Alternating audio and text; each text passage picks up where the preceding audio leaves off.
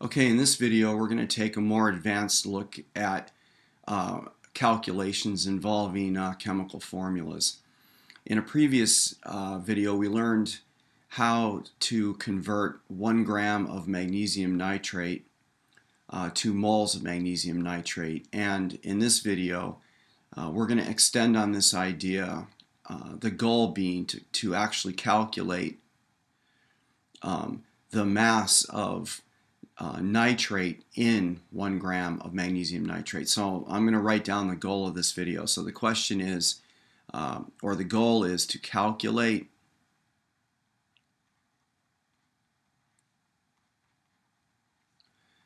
the mass of nitrate in one gram of magnesium nitrate.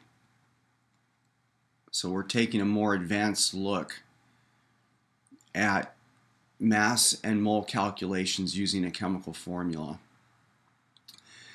Um, the calculation that we used in the previous video to find the moles of magnesium nitrate is an important aspect of that of this and that um, calculation is shown here. We're going to need this piece of information because in order for us to find the mass of a component that is embedded, if you will, within the formula of a compound. First, we're going to need to know the moles of that compound uh, given uh, an initial mass of that compound.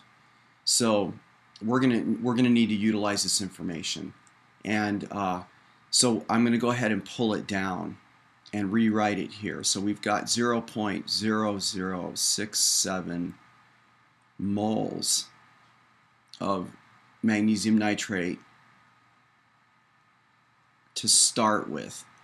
Now, it's important for the viewer to realize that in order to do any kind of uh, um, mole uh, calculation, um, given mass, we always have to be converted into moles. And the reason for that is, is because you can only compare the ratio of elements in a formula based on particle relationships.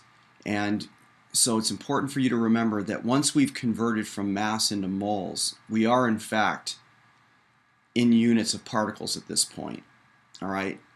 And so now we're able to compare uh, the ratio in which magnesium and nitrate appear within this formula. And you can see that the nitrate is within a parenthesis, and outside of that parenthesis is a 2. This indicates that the nitrate within this formula is present two times. So there are two nitrogens and a total of six oxygens in one unit of magnesium nitrate. So we can use this, uh, we can use the idea of a mole and a mole ratio to figure out how many moles of nitrate are in 0.0067 moles of magnesium nitrate. And the way we're going to do that is by multiplying uh, the 0.0067 by a ratio, uh, a mole ratio. And what we're going to be solving for is the nitrate. And so in the top of this fraction, we're going to write how many moles of nitrate are found in the formula, and there are two of them. Okay, there are two nitrates in one unit of MgNO3. All right, and um, we want to cancel the magnesium nitrate. So we write down the number of moles of the compound, which is M1 mole of Mg NO3 2.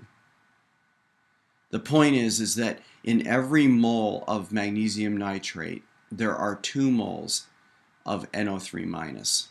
And then of course you know, multiplier method this is this whole quantity here is over 1.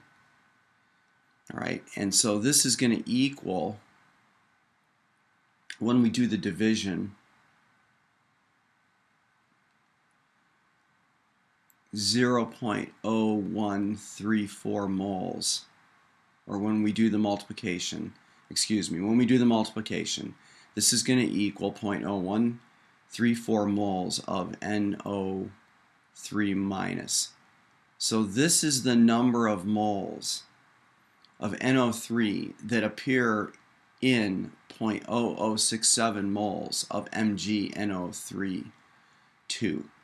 Keep, keep in mind that for each mole of MgNO3, there are 2 moles of NO3. So what that means is that you've got twice as many moles of nitrate for every mole of magnesium in this compound. So now we're almost home free. So what we're going to do now is is that, that we have uh, successfully found the moles of the nitrate. Now we just need to convert it into grams. So I'm going to pull it down. We've got point oh one three four moles of nitrate. And what we want to do now is find the mass of it.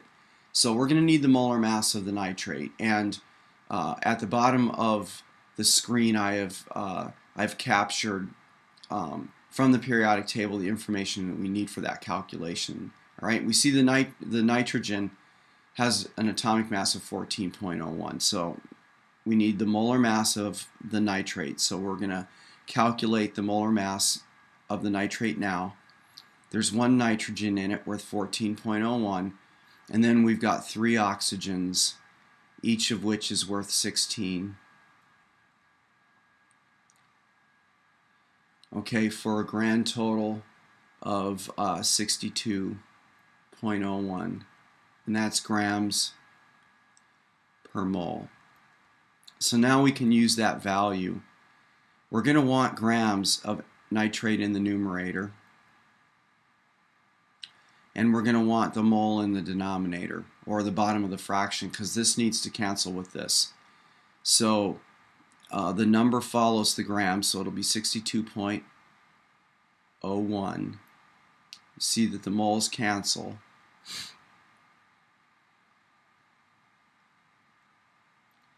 And uh, we find that there's going to be 0.831 grams of uh, NO3 minus in one gram of magnesium nitrate.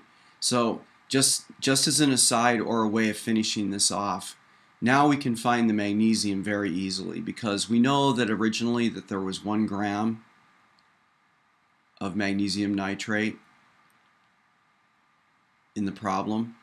And we know that the whole, the total nitrate, is 0.831 grams of that. So running the calculation, this is going to mean that the magnesium itself is 0.169 grams of uh, and don't forget this is an ionic compound and the magnesium is actually magnesium plus 2.